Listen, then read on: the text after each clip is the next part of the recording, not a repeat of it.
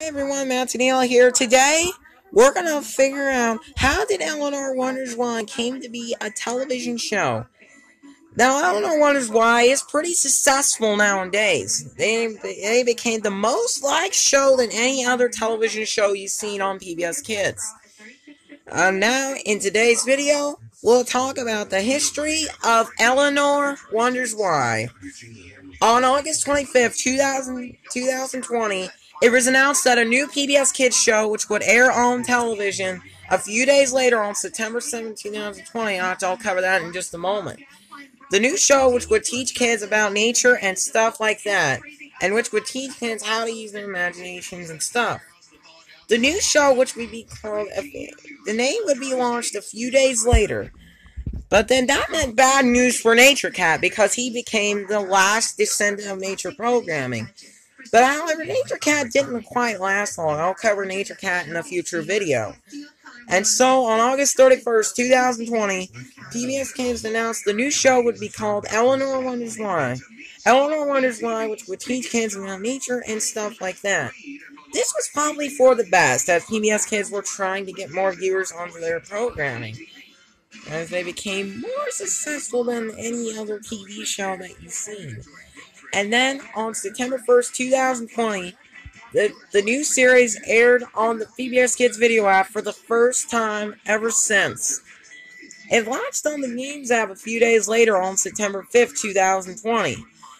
It was getting more games, and it, and it had its first website on September 4th.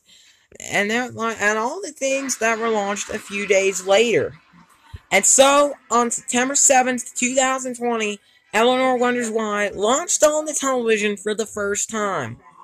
Elinor Wonders Why became pretty successful as it got its first episode on September 8th, 2020.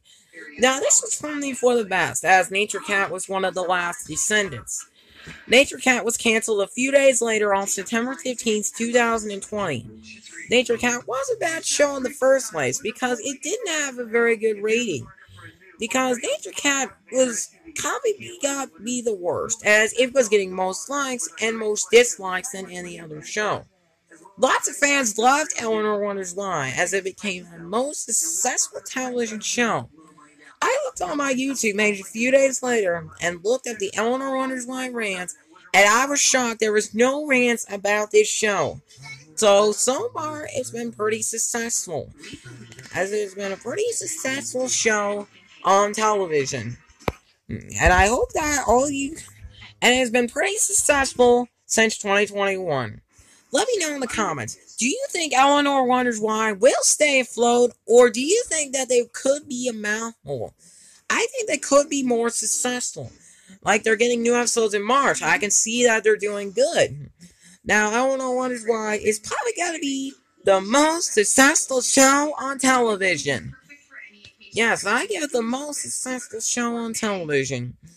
Anyways, thanks for watching this video, and be sure to subscribe for more. As I, as tonight, I will have another video called "The History of Let's Go Luna." So I'll cover that later on tonight. Anyways, thanks for watching, and be sure to subscribe.